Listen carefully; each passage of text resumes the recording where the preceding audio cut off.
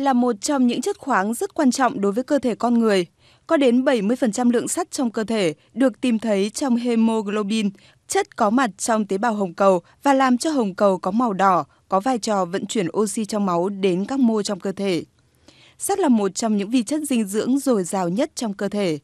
Chính vì vậy, hấp thụ đủ lượng sắt trong bữa ăn hàng ngày là rất quan trọng.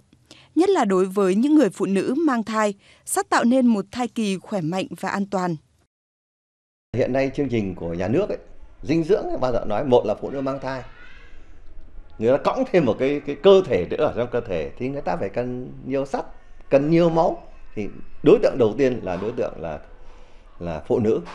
Thứ hai trẻ em là đối tượng nó đang lớn nó đang phát triển cái nhu cầu sử dụng oxy nhu cầu sử dụng uh, sắt vân vân ở trong cơ thể nó cao thì phải bổ sung viên sắt. Thứ ba là một số các trường hợp bệnh nhân sau phẫu thuật chẳng hạn, người ta mất máu. Thì phải bổ sung sắt cho người ta. Những người nào mà xét nghiệm mà thấy thiếu máu thì phải bổ sung. Và đối với người lớn tuổi là một cái nơi mà chúng ta cần bổ sung viên sắt. Bởi vì người lớn tuổi cũng không ăn được dầu thực phẩm như thanh niên, như người trung niên. Cho nên đối với người lớn tuổi cũng nên có bổ sung sắt.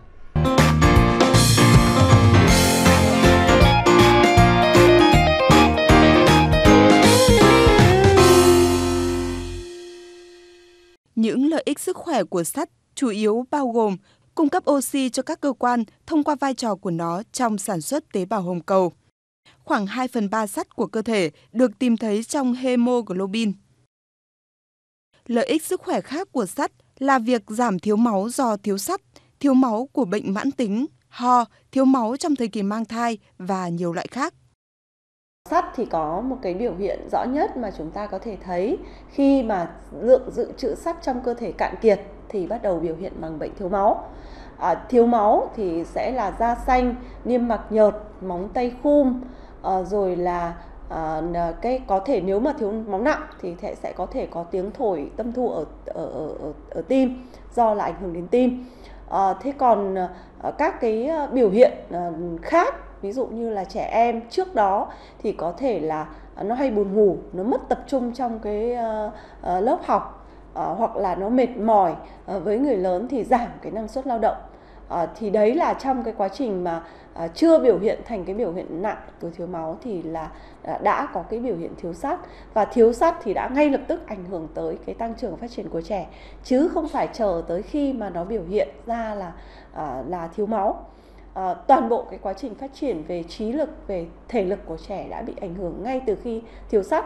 Mặc dù là sắt có dự trữ trong cơ thể và nếu với nguồn thức ăn bên ngoài không cung cấp đủ cho cơ thể thì uh, cơ thể sẽ sự tạm thời sử dụng cái nguồn dự trữ sắt này và khi mà nguồn dự trữ sắt cạn kiệt thì mới biểu hiện thành thiếu máu. À, thế nhưng mà cái quá trình mà tăng trưởng phát triển đã bị ảnh hưởng ngay khi mà cái nguồn sắt dự trữ phải mang phải được huy hận huy động rồi.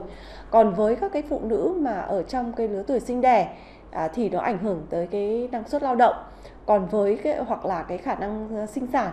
À, thế còn với cái cái phụ nữ có thai thì nó làm cho à, có những cái biến chứng sản khoa, ví dụ như có thể sảy thai, đẻ non, à, đẻ con nhỏ yếu hoặc là à, trong cái quá trình ờ, sinh nở thì dễ bị băng huyết. À, nhu cầu sắt của từng đối tượng cụ thể thì với các cái à, các cái à, nhóm đối tượng khác nhau hoặc là cái khẩu phần ăn khác nhau thì sẽ có cái cái nhu cầu hoặc là cái tình trạng sinh lý khác nhau thì sẽ có cái nhu cầu khác nhau. À, nếu lại còn căn cứ vào cái sinh học của khẩu phần ví dụ như là cái khẩu phần ăn của uh, cái sinh học kém uh, tức là sao? Tức là uh, các cái thức ăn uh, cái nguồn cái giá trị sinh học của sắt không cao. Thường là sắt uh, có cái nguồn sinh học cao là sắt từ nguồn thức ăn động vật. Lý do bởi vì là sắt được gắn với cái nhân hem và nó gắn với cái protein thì nó dễ hấp thu cho cơ thể hơn là các cái loại sắt vô cơ. Mà ví dụ như trong các cái loại rau củ quả thì ờ, khó hấp thu hơn so với lại trong cái nguồn thức ăn động vật. Hoặc là cái nguồn uh, thức ăn mà có chứa cái phi tát cao uh, hoặc là tan anh uh, trong chè trong cà phê. Uh, phi tát thì thường là ở trong cái chế độ ăn có nhiều ngũ cốc thì là những cái chất cản trở hấp thu sắt. Thì ừ, tùy theo cái khẩu phần thì cái nhu cầu sắt nó sẽ khác nhau. À, ví dụ như là với một cái khẩu phần à, mà giá trị sinh học mà thấp thì uh, cái nhu cầu của trẻ uh, trẻ em từ ờ, uh, 6 tháng cho tới uh, uh, 15 đến 19 tuổi sẽ là từ uh, 8,5 cho tới 17,5 microgram sắt một ngày. À, đấy là với trẻ trai, còn với trẻ gái là từ 7,9 uh, cho tới 29,7 mg sắt một ngày. À, là tùy theo cái nhu, nhu cầu sinh lý của cơ thể và tùy theo giới của trẻ nữa. Ờ, các cái nhu cầu hoặc là với cái phụ nữ ờ, ờ, thì sẽ có cái nhu cầu sắt cao hơn. Ví dụ như là từ 20 đến 29 tuổi thì sẽ là 26,1 mg sắt một ngày. Nhưng mà với cái tuổi từ 50 đến 69 tuổi mà còn còn kinh nguyệt thì nhu cầu là 26,1% một ngày. Nhưng mà trên lứa tuổi đó hết kinh nguyệt thì nhu cầu là 9,4 mg sắt một ngày. Ờ, thế thì tùy theo cái ờ, tình trạng sinh lý cái lứa tuổi ờ, cũng như là giới của đối tượng thì sẽ có cái nhu cầu sắt khác nhau thế còn với các cái khẩu phần mà có cái giá trị sắt có giá trị sinh học cao hơn thì cái nhu cầu sắt nó sẽ từ 5,2 cho tới 19,8 mg sắt một ngày. Để hấp thụ sắt thì tôi nghĩ là có mấy cái yếu tố để hấp thụ sắt. Một là ăn trực tiếp các cái thực phẩm giàu sắt nhất. Tôi rất thích ăn tiết. Một tháng trung bình tôi phải ăn một bữa tiết. Tất nhiên không ăn tiết canh nhá. Ta loại trừ cái tiết canh ra mà ta phải phải ăn cái tiết luộc. Bởi vì trong đó là phải nói nhiều sẵn nhất. Đúng không? Thứ hai là trong các loại thịt nạc. Cho nên trẻ nhỏ là chúng ta khuyến cáo là ăn ăn thịt nạc. Đúng không? Ạ thì đấy là hai cái mà giàu nhất. Ngoài ra là các hạt. Hiện nay các hạt ấy, nói chung mà thế giới thì đang nói là hạt mà ở Việt Nam đã nói rồi là hạt chia lượng sắt rất cao và sắt này được hấp thu. Có những thứ sắt ăn vào nhưng không được hấp thu lại bị đào thải ra đúng không nhưng mà hạt chia đúng không? thì trong đó như vậy các loại hạt nói chung trong đó ví dụ hạt chia là một cái hạt có rất nhiều sắt. Như vậy tôi nói lại một ăn trực tiếp cái gì mà có nhiều sắt nhất đấy là tiết. Nhưng không ăn tiết canh mà ăn tiết luộc đúng không ạ? Cái thứ hai là uh, ăn các loại thịt đúng không? Và đặc biệt là thịt nạc. Vì thịt mỡ thì là máu nó không bao nhiêu đâu anh anh nhìn tại sao nó đỏ thế là vì sao vì nó có nhiều nhiều nhiều nhiều máu đến. Nuôi. Đấy là cái thứ hai và thứ ba các hạt. Trong đó những cái hạt mà uh, uh, như hạt chia và ăn hạt thì phải ăn toàn bộ. Đấy, đừng có bóc đi. Ví dụ hạt đậu xanh hạt đậu đen bây giờ rất nhiều người cứ bóc cái cái vỏ đi. Tất nhiên vỏ nó hơi khó ăn đấy nhưng mà cái, như thế nó mới tốt.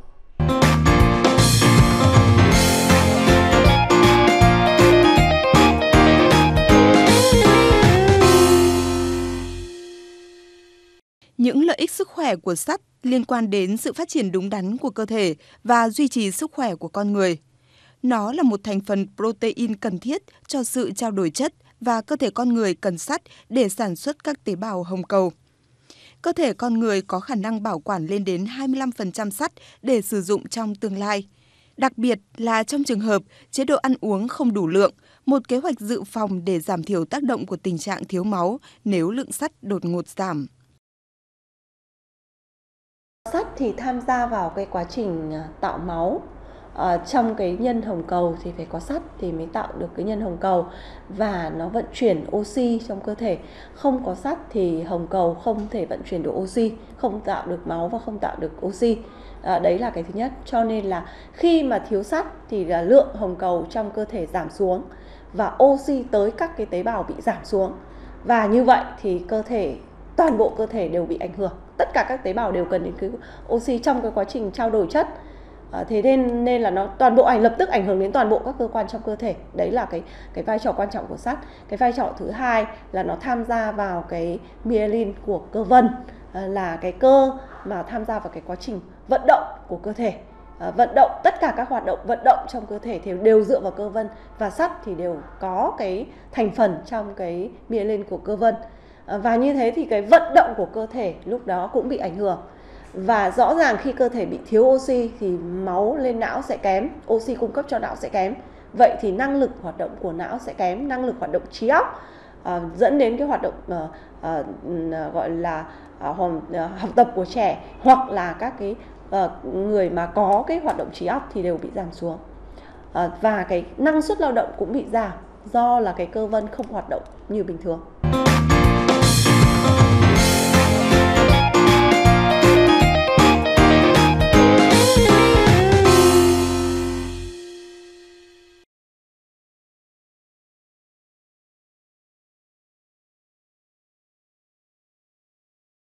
Trong cơ thể, khoảng 70% sắt được tìm thấy trong hemoglobin và myoglobin. Hemoglobin là chất vận chuyển chính của oxy từ phổi đến các mô của cơ thể, trong khi myoglobin là trong các tế bào cơ bắp có nhiệm vụ chấp nhận, lưu trữ, vận chuyển và giải phóng oxy trong các tế bào. Khoảng 5% sắt được tìm thấy như là thành phần của protein khác nhau và là yếu tố cần thiết trong các phản ứng enzyme nhất định. Cuối cùng, lên đến 25% sắt của cơ thể được lưu trữ trong ferritin, nằm trong các tế bào và lưu thông trong máu. Ferritin có thể lưu trữ đến 3 năm lượng sắt bổ sung cho nam giới, nhưng chỉ khoảng 1 năm đối với phụ nữ. Đó là lý do thiếu máu phổ biến hơn ở phụ nữ. Vai trò và tầm quan trọng của sắt không thể bị đánh giá quá thấp, chủ yếu là do sự thiếu hụt này rất nguy hiểm.